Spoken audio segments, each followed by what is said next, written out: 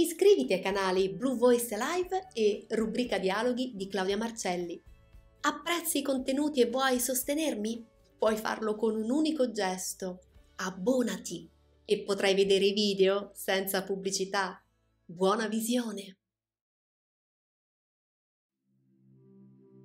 Nel primo volume della sua opera, La rivelazione di Ermete Trismegisto, Fesugère ha analizzato la mentalità dell'epoca, approssimativamente il secondo secolo d.C., nella quale vennero scritti l'Asclepius e i trattati ermetici giunti fino a noi, nella raccolta del Corpus Hermeticum.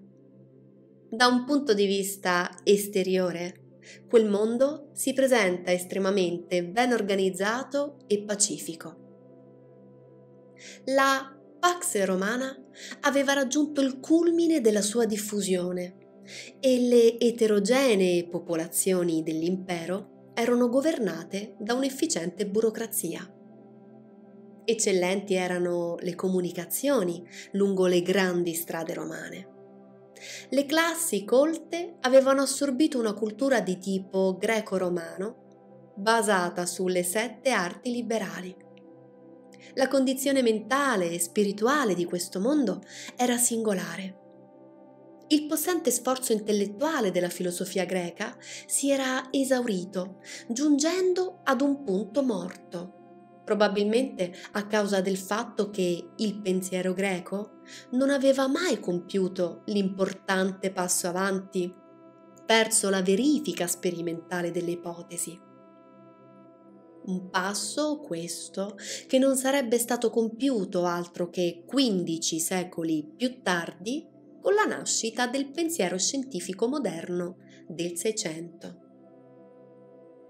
Il mondo del secondo secolo era stanco della dialettica greca, che si mostrava incapace di raggiungere risultati sicuri platonici, stoici, epicurei non sapevano far di meglio che ripetere le teorie delle loro diverse scuole, senza cercare di spingere più oltre le loro ricerche, mentre le dottrine delle scuole venivano ridotte in termini manualistici in trattati che costituirono il fondamento dell'istruzione filosofica in tutto l'impero nella misura in cui denuncia la sua origine greca, la filosofia degli scritti ermetici presenta questi tratti standardizzati con una infarinatura di platonismo, di neoplatonismo, di stoicismo e di altre scuole filosofiche greche.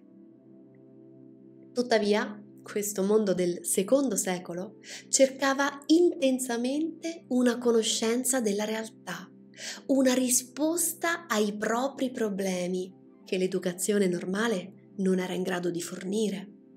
Perciò esso si volgeva altrove per trovare tale risposta all'intuizione, al misticismo, alla magia.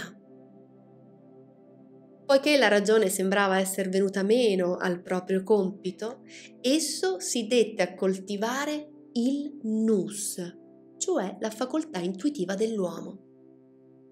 La filosofia doveva essere usata non alla stregua di un esercizio dialettico, ma come una via per conseguire una conoscenza intuitiva del divino ed anche del significato del mondo. In breve, come un'agnosi alla quale era necessario prepararsi attraverso una disciplina ascetica ed un comportamento religioso. Spesso i trattati ermetici, strutturati come dialoghi fra maestro e discepolo, culminano di solito in una specie di estasi nel corso della quale l'adepto si convince di aver ricevuto un'illuminazione prorompendo in inni di lode. Si ha l'impressione che egli ottenga tale illuminazione attraverso la contemplazione del mondo o del cosmo, o piuttosto attraverso la contemplazione del cosmo, così come esso è riflesso nel nus o mens che ne evidenzia il divino significato, assicurando all'adepto un dominio spirituale su di esso, come avviene nella ben nota rivelazione o esperienza agnostica dell'ascesa dell'anima, attraverso le sfere dei pianeti fino alla sua immersione nel divino. In tal modo, quella religione del mondo, che costituisce una specie di filone nascosto di gran parte del pensiero greco, ed in particolare del platonismo e dello stoicismo, nell'ermetismo diventa una religione vera e propria, un culto senza templi e liturgia, praticato nella solitudine della mente una filosofia religiosa o una religione filosofica contenente un'agnosi. Gli uomini del secondo secolo avevano la ferma convinzione, passata in seguito ai loro eredi rinascimentali, che antichità fosse sinonimo di santità e di purezza e che i più antichi filosofi avessero una conoscenza degli dei di gran lunga superiore a quella degli irriducibili razionalisti, loro successori. Da qui la vigorosa rinascita di motivi pitagorici in questo periodo. Altresì essi avevano l'impressione che tutto ciò che fosse remoto e distante possedesse una maggiore santità. Da qui il loro culto per i barbari, i gimnosofisti indiani, i magi persiani, gli astrologi caldei, la cui conoscenza veniva sentita improntata da una maggiore religiosità rispetto a quella dei greci. Nel crogiolo dell'impero, in cui tutte le religioni venivano tollerate, molte erano le occasioni di venire a conoscenza dei culti orientali. Soprattutto gli egiziani erano venerati in quest'età. I templi egiziani erano ancora frequentati e i devoti del mondo greco-romano, anelanti alla verità e alla rivelazione divine, erano soliti compiere pellegrinaggi a remoti templi egiziani e trascorrere la notte nei paraggi con la speranza di ricevere in sogno qualche visione dei misteri divini. L'opinione che l'Egitto fosse la fonte originaria di ogni scienza e che i maggiori filosofi greci vi si fossero recati e avessero conversato con i sacerdoti del luogo era diffusa da molto tempo. E nell'atmosfera spirituale del secondo secolo l'antica e misteriosa religione egiziana la supposta profondità di conoscenze dei suoi sacerdoti, la loro ascetica condotta di vita, le pratiche di magia religiosa loro attribuite nei recessi più nascosti dei templi, offrivano spunti di fortissima attrazione. È questo stato d'animo filo-egiziano del mondo greco-romano che si riflette nell'Asclepius ermetico con tutte le singolari descrizioni delle pratiche magiche per mezzo delle quali i sacerdoti egiziani animavano le statue degli dei e con la conturbante profezia secondo la quale la religione egiziana era destinata ad estinguersi.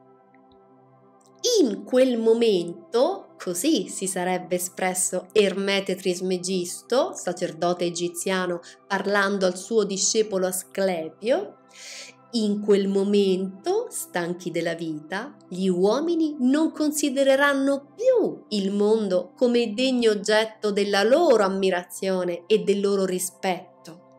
Questo tutto, la miglior cosa che esista, l'ottima fra tutte le cose del passato, del presente e del futuro, rischierà di perire gli uomini lo considereranno un fardello inutile e di conseguenza questa totalità dell'universo verrà disprezzata e non più venerata. Questa incomparabile creazione divina, questa costruzione mirabile, quest'ottima creazione costituita da un'infinita diversità di forme, strumento della volontà di Dio, il quale, senza invidia, elargisce la sua grazia a tutta la creazione e in cui è riunito in un unico tutto, in una diversità armoniosa, tutto ciò che è degno di riverenza, di lode e di amore. In tal modo l'Egitto e la sua religione magica vengono identificati con la religione ermetica del mondo.